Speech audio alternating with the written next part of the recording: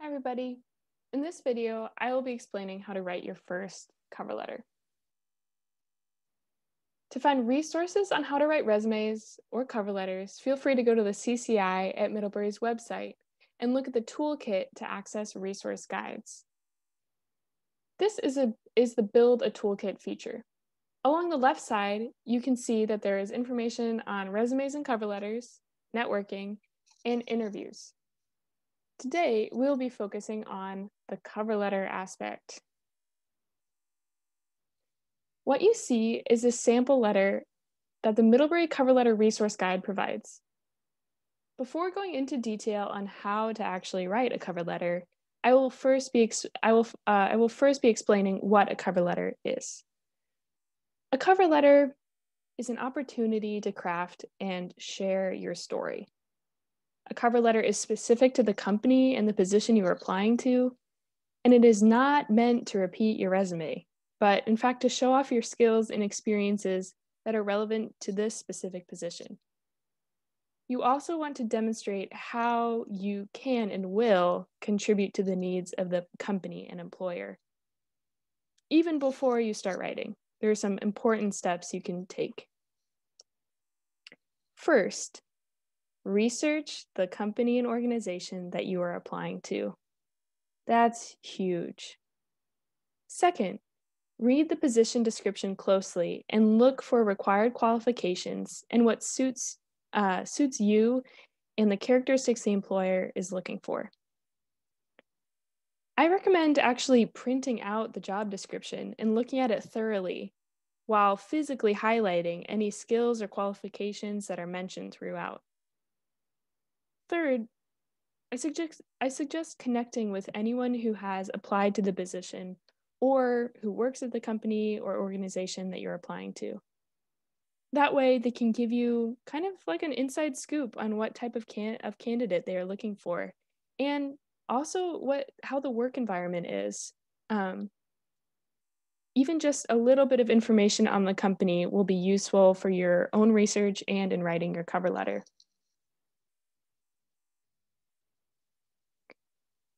So now we will be referring to the sample cover letter that the CCI provides. At the top of your cover letter, you can include your street address, city, state, and zip code. You can also just provide your resume header, which includes that same contact information.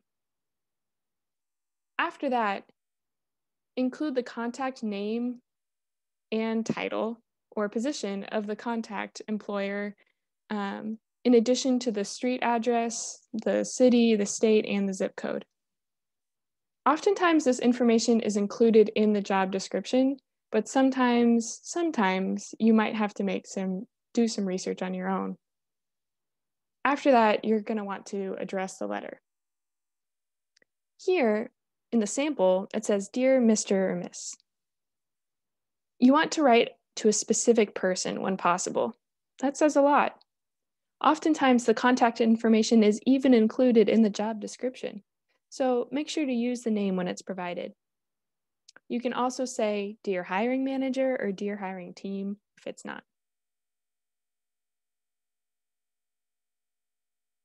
Now, let's talk about the first paragraph of the cover letter. In the first sentence, you want to pique the employer's curiosity. So you can talk about why you're pursuing the position, or even even just including a sentence that really really grabs the reader's attention would do a lot. Also you want to make sure to include what you're applying for and who referred you if applicable. You also want to reveal insight on the employer or the company.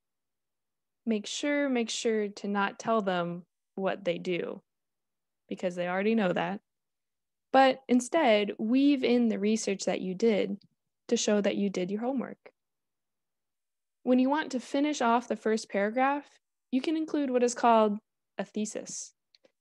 But in this case, the thesis would be you emphasizing your qualifications and skills, as well as talking about what you can and will contribute.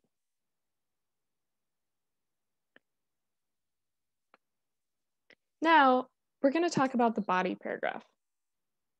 The body paragraph is an important place to articulate specific examples that will show how you will excel in the position. For the body paragraph, I recommend that you use the STAR framework because it will really allow you to concisely show your qualifications, as well as skills and accomplishments that match the job description. The STAR framework stands for situation, task, action, results, and relate. For situation, you want to state the situation you were in. For task, you're going to want to talk about the task that you were asked to complete. Was there a project that you were working on? Were you working with a group of people? Then you're going to talk about the action. So outline what actions you actually took to complete the task that you were given. And then you're going to talk about the results. So, what happened after you took those actions? Um, just be sure to describe the results in measurable terms, and that can be quantitative or qualitative. Finally, you're going to want to relate it back to the job itself. So, you're going to want to relate how that example demonstrates the skills relevant for your job. For the last paragraph of your cover letter, you want to make sure that you thank the employer to con- for considering your application and also include any contact information such as your email or phone number. You also should restate your interests and ask for the opportunity to learn more about the position. And then when you want to sign off, just say sincerely and include your signature and your typed name. Before I wrap up this video, I also just wanted to include some, some cover letter tips. Make sure, make sure to keep your cover letter at one page. Use the same font and the same font size throughout your cover letter, and also make sure to read your cover, le cover letter out loud before sending it off.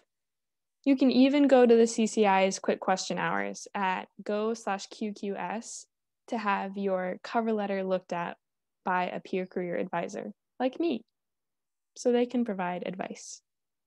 Also, make sure to show why you would make a good fit for the position.